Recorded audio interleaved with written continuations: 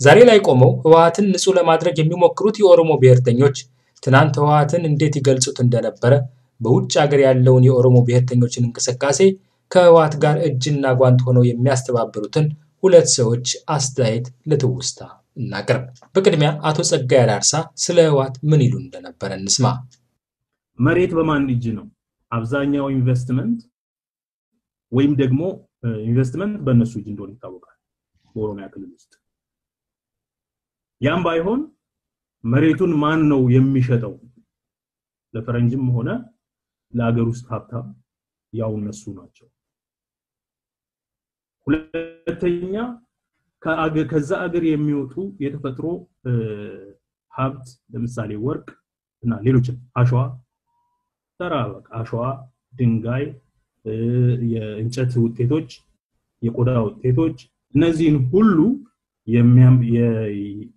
ማለት የሚነግደው የሚጠቀምበት የሚቆጣጠረው ማን ነው?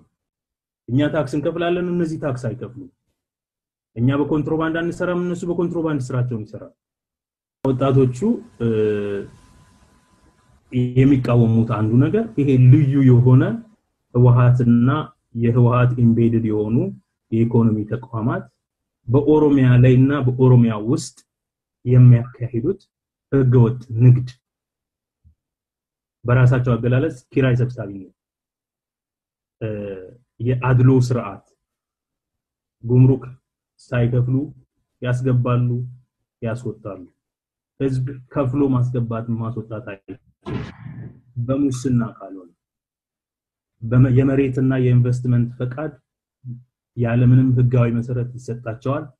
ሌላው ህዝብ እንኳን የኢንቨስትመንትና የሊዝ ፈቃድ የመኖሪያ መኖሪያ means of livelihood የሆነችውን መሬት በኢንቨስትመንት እና በልማት ስም ያጣል።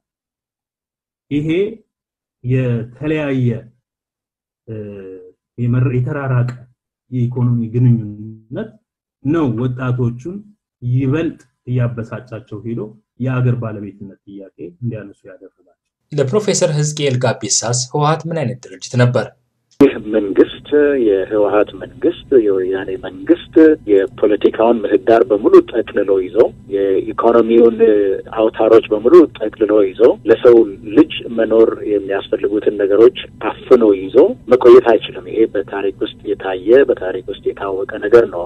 አንድን ህዝብ ጨቁኖ አፍኖ ረግጦ ለዘላለም መግዛት አይቻልም። ለተወሰነ ጊዜ ይቻላል። ከዛ በኋላ ግን አይቻልም። የኦሮሞ ብሔርተኞች ትናንት ተፈጸመ ያሉትን በደል በብርሃን ፍጥነት ረስተው ህወሓትን እንዳዳኛቸው እያዩ አብረው መሰለፋቸው በሃይማኖታዊ ቋንቋ በደልን በፍጥነት የሚረሱ ጻድቅ ያደርጋቸዋል። ምጸቱ ግን እነዚህ ኃይሎች ባለፉት 27 ዓመታት በአይናቸው አይተው በእጃቸው ዳሰው ያረጋገጡትን በደል በፍጥነት መርሳት ሲችሉ ባልኖሩበት ዘመን ተፈጸመ የሚሉትንና በስማ ብለው የሰሙትን በደል ዕድሜ ልካችንን አንረሳው ማለታቸው ነው።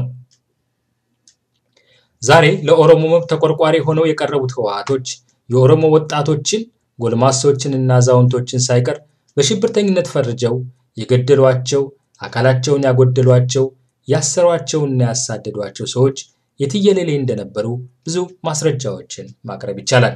ብዙ ሰዎች እኔ እንኳን እችን እድል አግኝቼ ፀሐይ ያየሁበት እድል አግኝቻለሁ። ብዙ ሰዎች እዚህ የቀሩ ብዙ ሰዎች እዚህ ቀርቷል። ብዙ እርጉዝ ሴቶች እዚህ ጋር እንትና ብዙ ሰዎች የሞቱበት አካላቸውን ያጡበት፣ ብዙ ሰዎች የተቀበሩበት፣ ብዙ ሰዎች ደግሞ ከዚህ ወስዶ የት እንደተገደሉ የት እንዳሉም የማይታወቁ በሺ የሚቆጠሩ ሰዎች አሉ እስካሁን የት እንዳሉ የማይታወቁ ሰዎች እና እኔ እዚህ ሲያስታውስ ብዙ ነገሮችን ነው የሚያስታውሰው።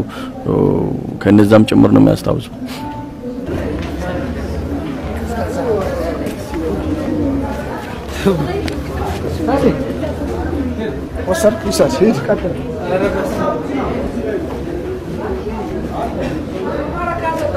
ስድስት ወር ከምናምኑን ከስድስት ወር በላይ ያሳለፍኩት ሳይቤሪያ ነው።